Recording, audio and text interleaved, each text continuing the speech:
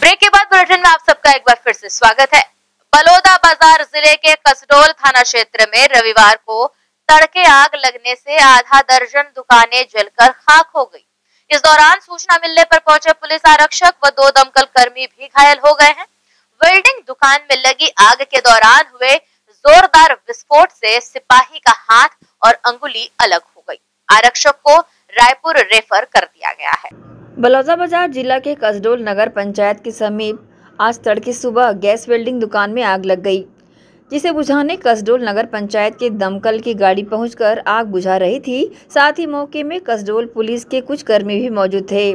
दुकान में घरेलू उपयोग करने वाला सिलेंडर भी रखा हुआ था, जो कि अचानक फट पड़ा और मौके पर स्थित दमकल की टीम सहित पुलिसकर्मी इससे घायल हो गए। हादसा इतना भयानक था कि अंदाज़ा इसी बात से लगाया जा सकता है कि मौके पर ड्यूटी दे रहे आरक्षक जीवन पटले की एक हाथ का पंजा हाथ से अलग होकर दूर छिटक गया। साथ ही चेहरे में मुँह पर गंभीर चोटें आई। इसके अलावा दमकल की गाड़ी में उपस्थित लोगों को भी गंभीर चोटें आई है। गौरतलब है कि गैस वेल्डिंग दुकान में आगजनी को बुझाते पाँच लोगों को चोटें आई है, जिसे तत्काल सामुदायिक स्वास्थ्य केंद्र कसडोल लाया गया, जिनमें से चार लोगों को प्राथमिक उपचार के बाद घर भेज दिया गया। वहीं मौके पर उपस्थित घायल आरक्षक जीवन पटले की गंभीर हालत देखते हुए सामुदायिक स्वास्थ्य केंद्र कसडोल के बीएमओ डॉक्टर अनजान सिंह चौहान ने तत्काल रायपुर रिफर कर दिया। वहीं पीड़ित दमकल वाहन के चालक बद्री प्रसाद साहू ने बताया कि दुकान में घरेलू गैस रखा था, जिनकी जानकारी जानकारी किसी को भी नहीं थी। हादसे में दुकान संचालक की लापरवाही की बात कही गई है।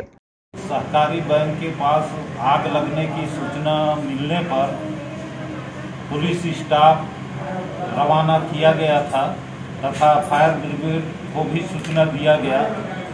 फायर ब्रिगेड पार्टी पहुँचने के बाद आग बुझाने का काम चल रहा था। पुलिस भीड़ को रोक रोक रही थी। आग बुझाने के दौरान ठेला में गैस सिलेंडर विस्फोट हो गया, जिससे पुलिस स्टाफ के आरक्षक जीवन पटले विक्राम बंजारे, दमकल चालक बद्री प्रसाद तथा अन्य तीरथनाथ छन्नू लाल संतोष राव को चोटें लगी है, जिसमें से पुलिस आरक्षक जीवन पाटले को गंभीर चोट लगी है, जिसे उपचार हेतु तत्काल रायपुर रेफर किया गया है। आग कैसे लगी? इसके संबंध में जाँच चल रही है। देखिए। जाँच बाद अग्रिम कार्रवाई की जाएगी। हम लोग के पास मैं फायरमैन हूँ। मेरा नाम है संतोष राव मराठा।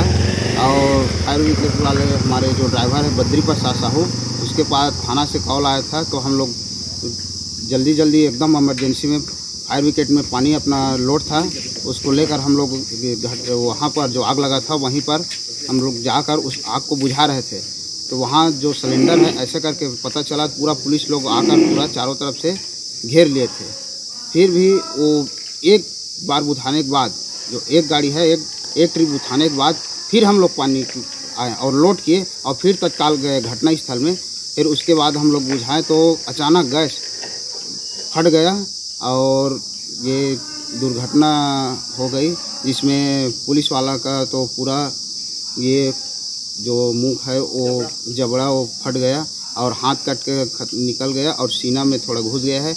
और जो फायर विकेट ड्राइवर है, उसका जो कमर में एंगल घुस गया था और मैं फायरमैन हूँ, मेरा ये ये थोड़ा जो कमर है, उस, उसमें चोट आई है, मैं तो उड़ गया था उसके झटका में। पूरा आग आज सुबह पाँच, साढ़े पाँच बजे, पाँच घायल व्यक्ति को लाया गया, जिसमें एक पुलिस वाले की स्थिति गंभीर थी, उनका झगड़ा और दाहिना हाथ का बच्चा गलत हो गया था जैसा वाले ने बताया कि उनको सिलेंडर ब्लास्ट होने से चोट लगी है और चार और व्यक्ति घायल थे। तो चारों का प्राथमिक उपचार करके उनको छुट्टी कर दिया गया है। चार लोग खतरे से बाहर हैं और एक को गंभीर था, उनको रायपुर रेफर किया गया बहरहाल, घायल का इलाज जारी है। ग्रैंड एशियन न्यूज़ के लिए बलौदा बाज़ार से सुरेश पुरेना की रिपोर्ट।